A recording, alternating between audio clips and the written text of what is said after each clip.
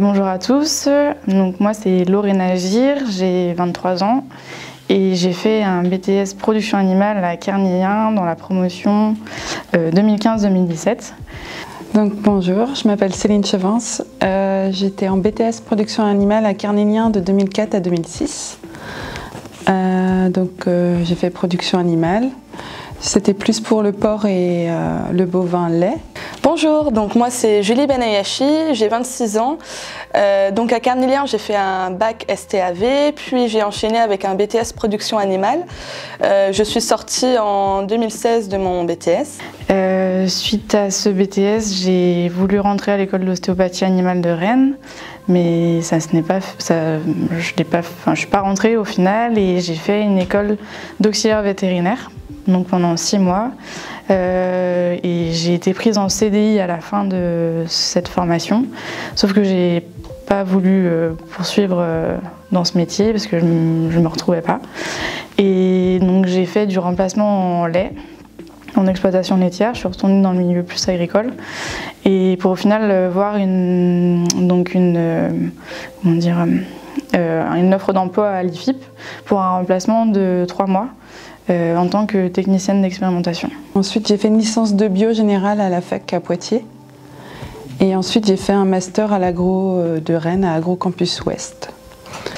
Euh, donc en sortant de, cette formation, je suis partie travailler en centre d'insémination porcin chez Ixia pendant quelques temps, un peu moins d'un an, donc c'était des CDD. Et puis ce manque de stabilité euh, m'embêtait un peu. Donc du coup, je suis partie à la recherche d'un poste de technicien. À la base, je voulais euh, faire du port, mais finalement, j'ai postulé dans différentes entreprises. Et euh, donc j'ai été retenue chez Hendrix Génétique Turquie France. Donc c'était pour faire un poste de technicien en dinde futur repro et repro. poste que j'ai exercé pendant 4 ans.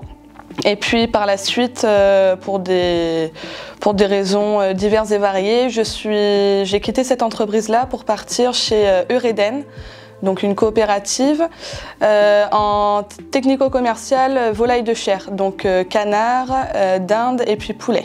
Donc l'IFIP, c'est l'Institut du Port, c'est un institut de recherche et d'expertise exclusivement pour la filière porcine. c'est un institut qui a pour objectif de répondre aux enjeux de la filière porcine, économiques, sociaux, environnementaux, enfin le cochon de A à Z. Donc les ingénieurs, euh, quand ils ont des appels à projets, ils établissent des protocoles.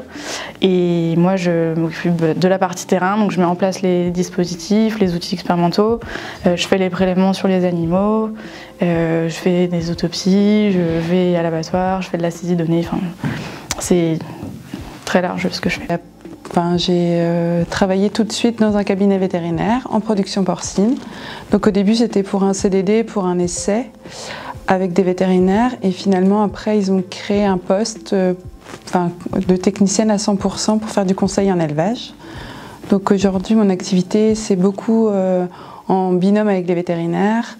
Donc je fais des diagnostics de ventilation, c'est à peu près le trois quarts de mon temps de travail et sinon des analyses de données du suivi euh, alimentaire et des essais. Donc mon métier aujourd'hui, c'est d'aller chez les éleveurs, enfin chez les adhérents de la coopérative en toute espèce de volaille. Euh, voilà, leur apporter un soutien technique, un soutien sanitaire. On parle aussi beaucoup de la biosécurité, euh, de l'économie également. Les choses qui m'ont plu, bah, moi, à enfin, quand j'y suis rentrée, je connaissais rien au milieu agricole.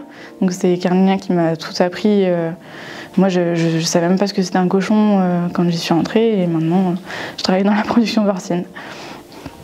Par rapport à Carnélien, j'ai adoré faire mon BTS. Je venais d'un parcours général et, euh, j'étais contente d'arriver dans un truc concret. aussi bien l'équipe enseignante et aussi nos collègues de promo.